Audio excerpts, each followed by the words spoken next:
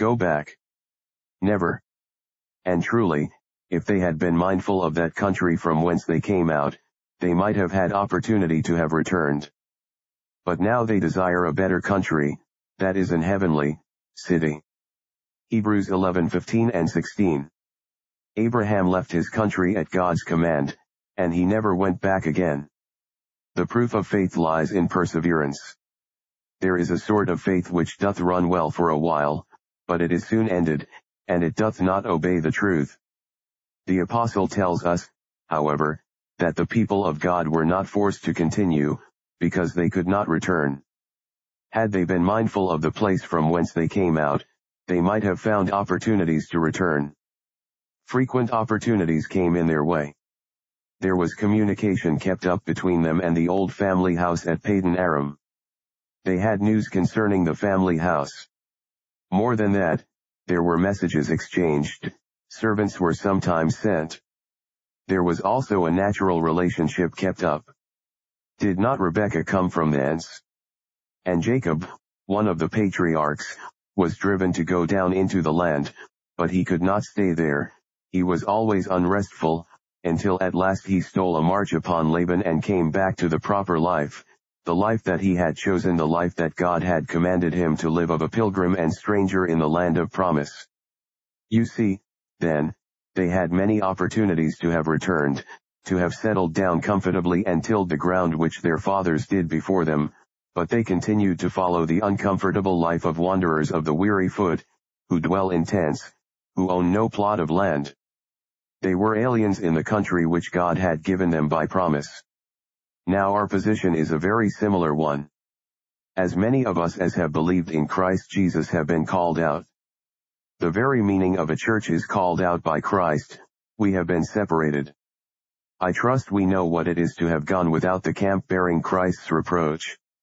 Henceforth in this world we have no home, no true abiding home for our spirits. Our home is beyond the flood.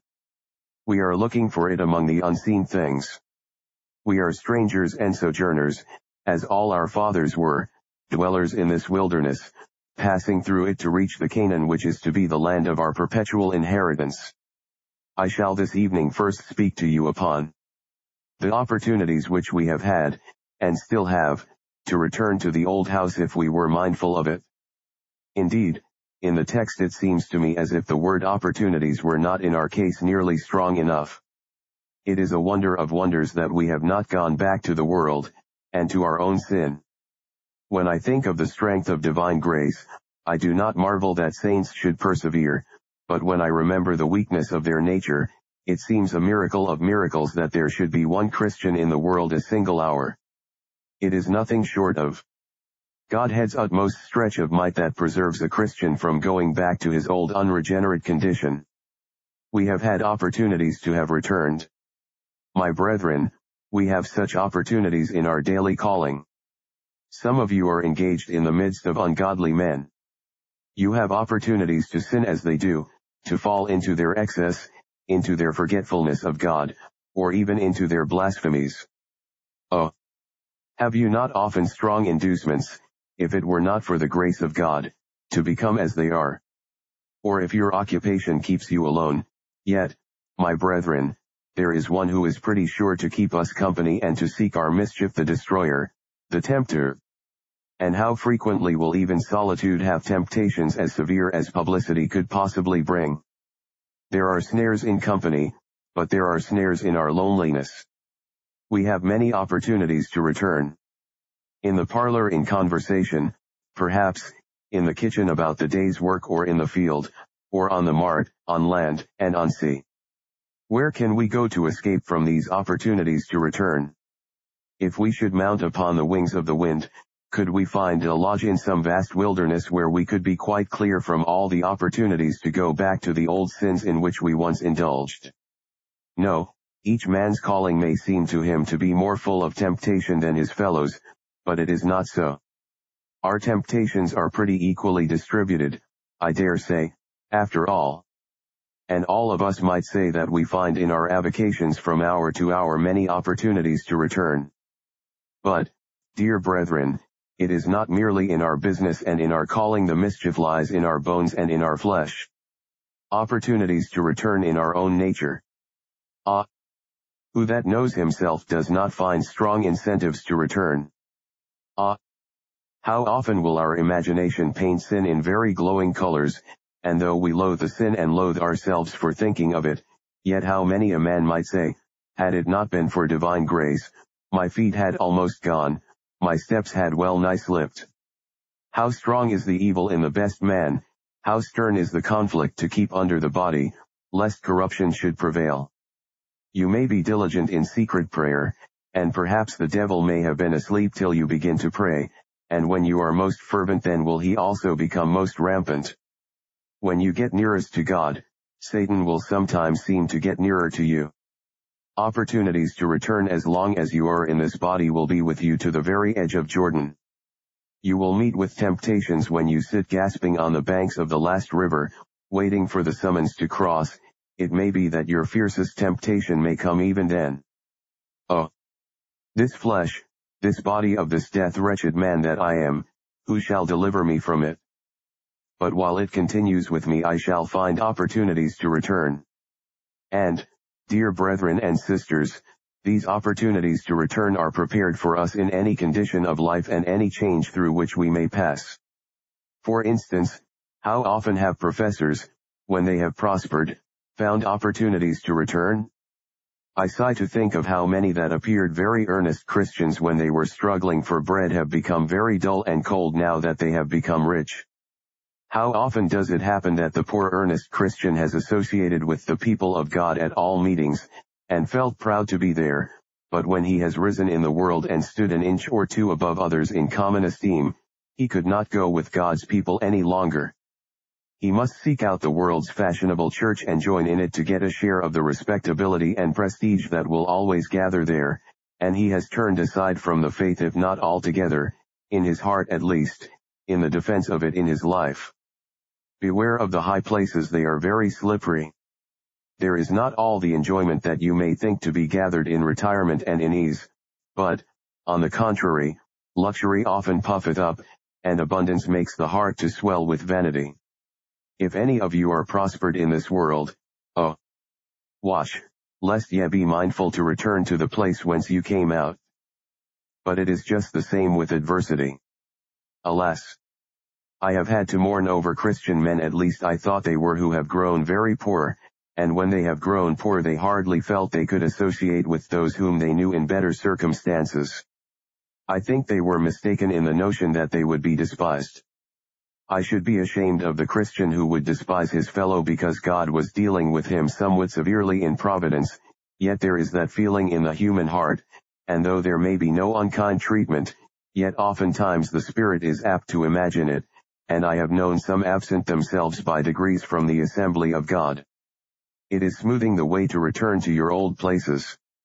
And, indeed, I have not wondered when I have seen some professors grow cold when I have thought how they were compelled to live. Perhaps they lived in a comfortable home before, and now they have to take a room where there is no comfort, and where sounds of blasphemy meet them. Or in some cases, perhaps, they have to go to the workhouse, and be far away from all Christian intercourse or anything that could comfort them. It is only grace that can keep grace alive under such circumstances. You see, then, whether you grow rich, or whether you become poor, you will have these opportunities to return. If you want to go back to sin, to carnality, to a love of the world, to your old condition, you never need to be prevented from doing so by want of opportunities. It will be something else that will prevent you, for these opportunities are plentiful indeed. Opportunities to return let me say just this much more about them are often furnished by the example of others when any turn from Zion's way. Alas! What numbers do? Methinks I hear my Saviour say. Wilt thou forsake me too? Departures from the faith of those whom we highly esteem are, at least while we are young, very severe trials to us. We cannot think that religion can be true if such a man is a hypocrite. It staggers us we cannot make it out. Opportunities to return you have now, but ah, May grace be given you so that if others play the Judas, instead of leading you to do the same, it may only bind you more fast to your Lord, and make you walk more carefully, lest you also prove a son of perdition. And oh, my brethren and sisters, if some of us wish to return, we should have this opportunity to return in a certain sense. We should find that none of our old friends would refuse to receive us. There is many a Christian who, if he were to go back to the gaiety of the world, would find the world receive him with open arms. He was the favorite of the ballroom once, he was the wit that set the table on a roar, he was the man who, above all, was courted when he moved in the circle of the vain and frivolous, glad enough would they be to see him come back. What shouts of triumph would they raise, and how would they welcome him? Oh!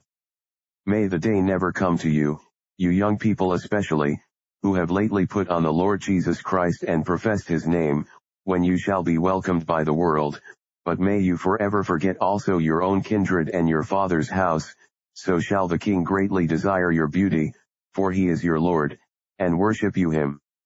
Separation from the world shall endear you to the Savior, and bring you conscious enjoyment of his presence, but opportunities to return I have shown you now are plentiful enough.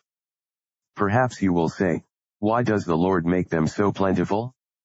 Could he not have kept us from temptation? There is no doubt he could, but it never was the Master's intention that we should all be hothouse plants. He taught us to pray, lead us not into temptation, but at the same time he does lead us there, and intends to do it, and this is for the proving of our faith to see whether it be true faith or not. Only he bids us also pray, deliver us from evil. Depend upon it, faith that is never tried is not faith. It must be sooner or later exercised. God does not create useless things. He intends that the faith which he gives should have its test, and should glorify his name. These opportunities to return are meant to try your faith, and they are sent to you to prove that you are a volunteer soldier. Why, if grace was a sort of chain that manacled you so that you could not leave your Lord, if it had become a physical impossibility for you to forsake your Savior, there would be no credit in your abiding faithful to him. He that does not run away because his legs are weak, does not prove himself a hero, but he that could run, but won't run, that could desert his Lord, but won't desert him, has within him a principle of grace stronger than any fetter could be the highest, strongest, noblest bond that unites a man to the Savior. By this you shall know whether you are Christ's or not when you have opportunity to return if you don't return, that shall prove you are his. Two men are going along a road, and they have got a dog behind them. I do not know to whom that dog belongs, but I'll tell you directly.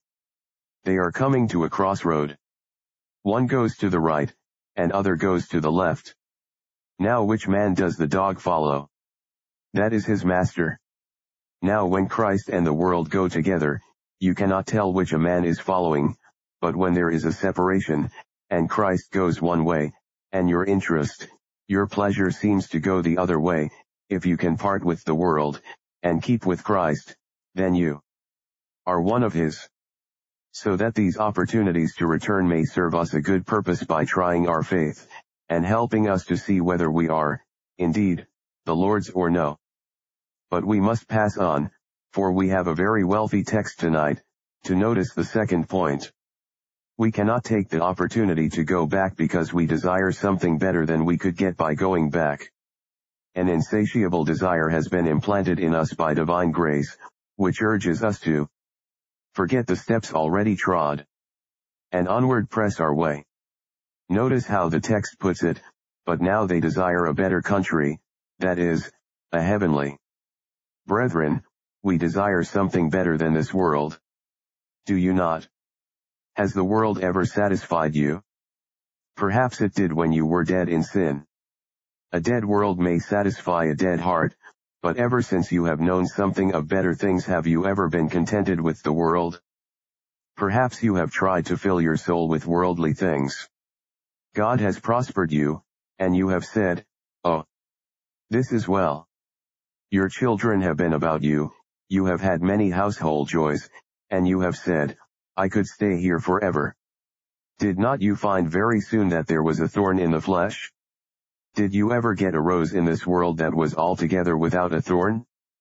Have you not been obliged to say, after you have had all that the world could give you, vanity of vanities, all is vanity? I am sure it has been so with you. All God's saints will confess that if the Lord were to say to them, you shall have all the world, and that shall be your portion, they would be broken-hearted men.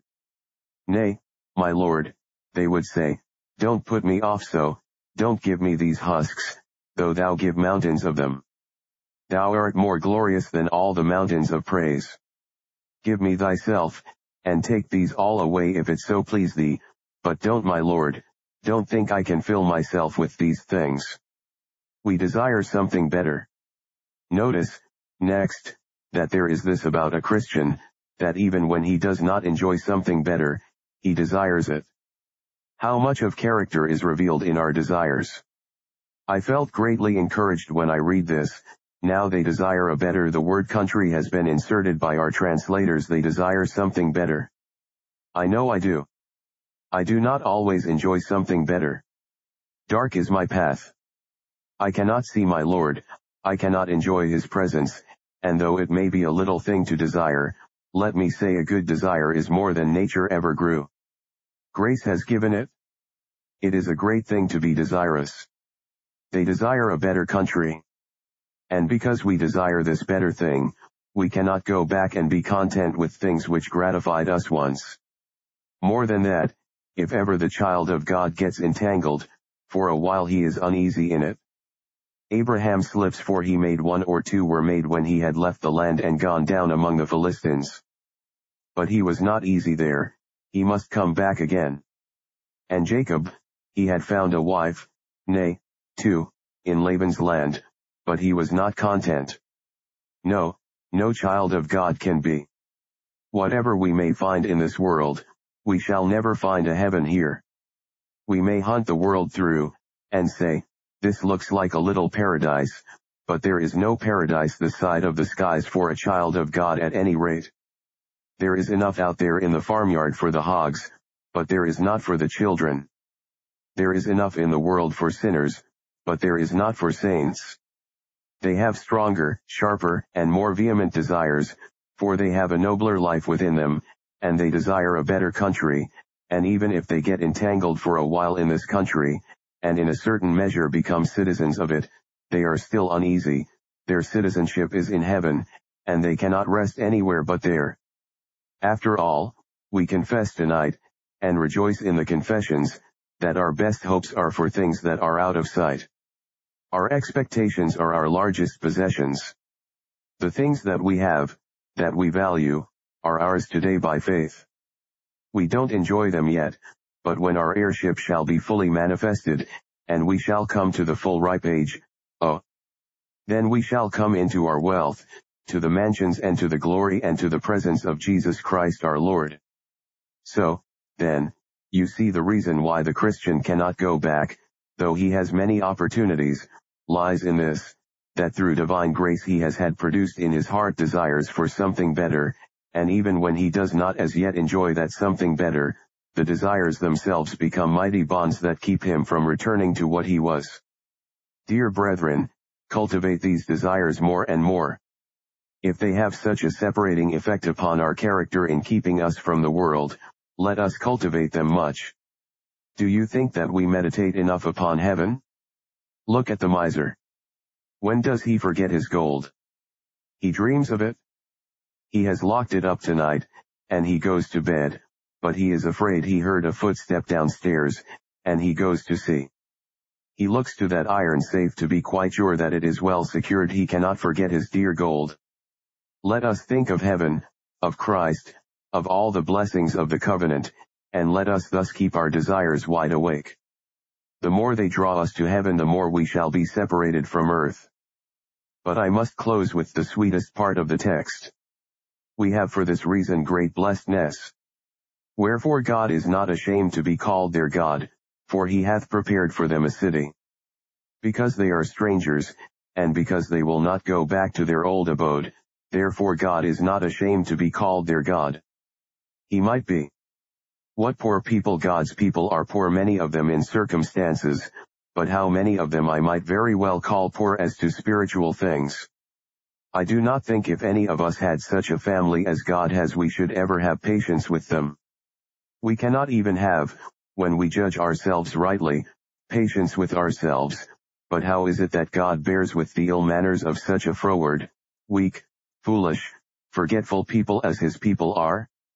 He might well be ashamed to be called their God if you look upon them as they are. Own them how can he own them? Does he not himself sometimes say of them, How can I put thee among the children, and yet he does.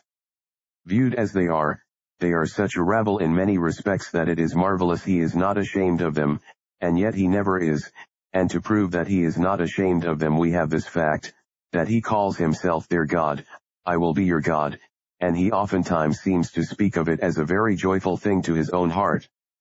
I am the God of Abraham, the God of Isaac, and the God of Jacob, and while he calls himself their God he never forbids them to call him their God, and in the presence of the great ones of the earth they may call him their God anywhere. He is not ashamed that it should be so. We have sometimes heard of a brother who has become great and rich in the world, and he has had some poor brother or some distant relative, and when he has seen him in the street he has been obliged just to speak to him and own him, but I dare say he wished him a long way off, especially if some rich acquaintance happened to be with him who should say, Why, Smith, who was that wretched seedy-looking fellow that you spoke to? He does not like to say, that is my relation, or that is my brother. But we find that Jesus Christ, however low his people may sink, and however poor they may be, is not ashamed to call them brethren, nor to let them look up to him in all the depths of their degradation and call him brother born for adversity. He is not ashamed to call them brethren. And one reason seems to me to be because he does not judge them by what they are, but by what he has prepared for them. Notice the text, Wherefore God is not ashamed to be called their God, for he hath prepared for them he hath prepared for them a city. They are poor now, but God, to whom things to come are things present, sees them in their fair white linen which is the righteousness of the saints. All you can see in the poor child of God is a hard-working, laboring man, who is mocked at and despised, but what does God see in him? He sees in him a dignity and a glory second only to himself. He hath put all things under the foot of such a man as that, and crowned him with glory and honor in the person of Christ, and the angels themselves are ministering servants to such a one as that. You see his clothes, you see not him, you see but his earthly tabernacle, but the Spirit, twice born immortal and divine, you see not that. God does. Or if you spiritually perceive that part, you see it as it is, but God sees it as it will be when it shall be like unto Christ, without spot, or wrinkle, or any such thing. God sees the poorest child of God as he will be in that day when he shall be like Christ, for he shall see him as he is. It seems in the text that God looks to what he has prepared for these poor people he hath prepared for them a city. And methinks that by what he has prepared for them he esteems them and loves them, esteeming them by what he means them to be rather than by what they appear to be. Now let us look at this preparation just a minute, he hath prepared for them them. I delight to preach a free gospel, and to preach it to every creature under heaven, but we must never forget the speciality he hath prepared for them a city. That is, for such as are strangers and foreigners, for such as have faith, and therefore have left the world and gone out to follow Christ. He hath prepared for them, not for all of you, but only for such as he has prepared for the city, has he prepared the city. But note what it is. It is a city, which indicates, first, an abiding happiness. They dwelt in tents Abraham, Isaac, and Jacob, but he has prepared for them a city. Here we are tent dwellers, but the tent is soon to be taken down. We know that this earthly house of our tent shall be dissolved, but we have a house not made with hands eternal in the heavens. He hath prepared for them a city. A city is a place of social joy. In a lonely hamlet one has little company, but in a city much. There all the inhabitants shall be united in one glorious brotherhood the true communism, liberty, equality, and fraternity, in the highest possible degree. There shall be delightful intercourse. He hath prepared for them a city. It is a city, too, for dignity. To be a burgess of the city of London is thought to be a great honor, and upon princes is it sometimes conferred, but we shall have the highest honor that can be given when we shall be citizens of the city which God has prepared. But I must not dwell on this, delightful theme as it is, for I must close by noticing you, who are the children of God. Don't wonder, don't wonder if you have discomforts here. If you are what you profess to be, you are strangers. Don't expect the men of this world to treat you as one of themselves if they do, be afraid. Dogs don't bark when a man goes by that they know they bark at strangers. When people slander and persecute you no longer, be afraid. If you are a stranger, they naturally bark at you. Don't expect to find comforts in this world that your flesh would long for. This is our inn, not our home. We tarry here a night, we are away in the morning. We may bear the discomforts of the eventide and the night, for the morning will break so soon. Remember that your greatest joy while you are a pilgrim is your God. So the text says, Wherefore God is not ashamed to be called their God. Do you want a greater source of consolation than you have got? Here is one that can never be diminished, much less exhausted. When the creature streams are dry, go to this eternal fountain, and you will find it ever springing up. Your God is your true joy make your joy to be in your God. Now what shall be said to those who are not strangers and foreigners? Oh! You dwell in a land where you find some sort of repose, but I have heavy tidings for you. This land in which you dwell, and all the works thereof, must be burned up. The city of which you, who have never been converted to Christ, are citizens, is the city of destruction, and as is its name such shall be its end. The king will send his armies against that wicked city and destroy it, and if you are citizens of it you will lose all you have you will lose your souls, you will lose yourselves. Whither away, saith one. Where can I find comfort then, and security? You must do as Lot did when the angels pressed him and said, Haste to the mountain, lest thou be consumed. The mountain of safety is Calvary. Where Jesus died, there you shall live. There is death everywhere else, but there is life in his death. Oh! Fly to him. But how, saith one? Trust him. God gave his son, equal with himself, to bear the burdens of human sin, and he died a substitute for sinners, a real substitute, an efficient substitute for all who trust in him. If thou wilt trust thy soul with Jesus, thou art saved. Thy sin was laid on him. It is forgiven thee. It was blotted out when he nailed the handwriting of ordinances to his cross. Trust him now and ye are saved. That is, you shall henceforth become a stranger and a pilgrim, and in the better land you shall find the rest which you never shall find here, and need not wish to find, for the land is polluted. Let us away from it. The curse has fallen. Let us get away to the uncursed and ever blessed, where Jesus Christ dwells forever. God add his blessing on these words for Christ's sake. Amen.